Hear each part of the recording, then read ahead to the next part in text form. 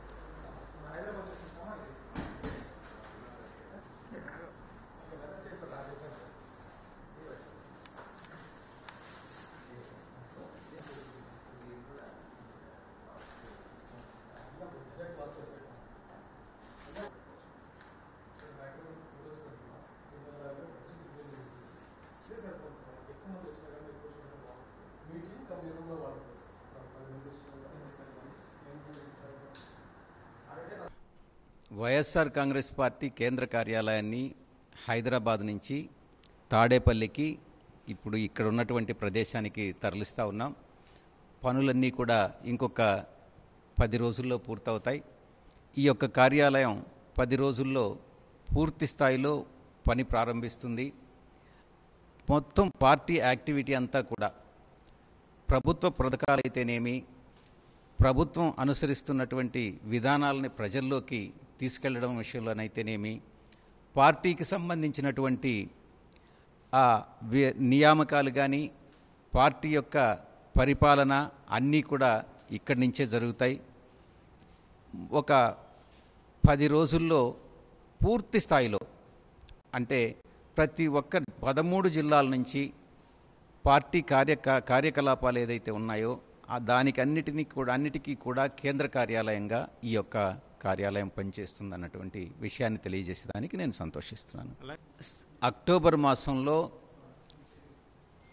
November మాసంలో కానీ మన రాష్ట్రంలో స్థానిక సంస్థల ఎన్నికలకు సిద్ పోటీ చేసేదానికి సమాయత్తం అవుతా ఉన్నది పార్టీ. రాష్ట్రంలో ఉన్నటువంటి పదమూడు జిల్లాల్లో అన్ని పంచాయతీలు అన్ని మున్సిపాలిటీలు అన్ని కార్పొరేషన్స్ అన్ని మండలాల్ని కూడా కైవసం చేసుకునే దానికి పార్టీ సమాయత్తమవుతా ఉంది. దానికి సంబంధించినటువంటి పథక రచన వ్యూహ రచనలన్నింటినీ కూడా ఈ కార్యాలయం నుంచి రూపొందించుకోవడం జరుగుతుంది. స్థానిక శాసనసభ్యులు పార్టీ శాసనసభ్యులు సమావేశాలు అయితేనేమి ప్రెస్ కాన్ఫరెన్స్లు అయితేనేమి అన్నీ కూడా ఈ కార్యాలయం నుంచే పది రోజుల తర్వాత నిర్వహించబడతాయి.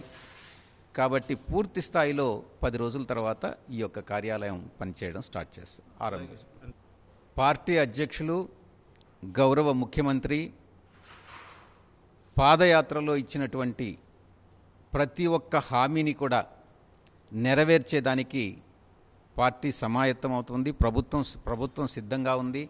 పార్టీ కూడా దానికి అనుకూలంగా ముందుకెళ్తా ఉంది.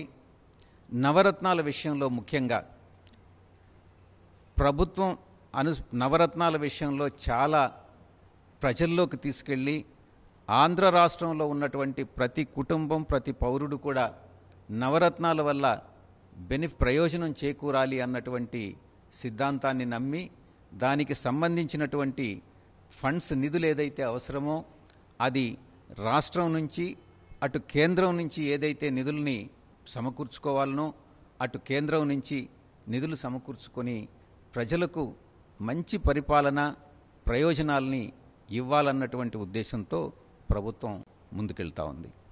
ప్రత్యేక హోదా విషయంలో ఆంధ్ర రాష్ట్ర పునర్విభజన చట్టంలో పొందుపరిచినటువంటి అంశాలు ఏదైతే అమలుకు నోచుకోలేదో ఆ ఆ- ఆ విషయంలో కేంద్రం నుంచి మనకు రావాల్సినటువంటి నిధుల విషయంలో ప్రతి ఒక్క విషయంలో ఎక్కడా కూడా రాష్ట్ర ప్రయోజనాలను కాపాడుతాం.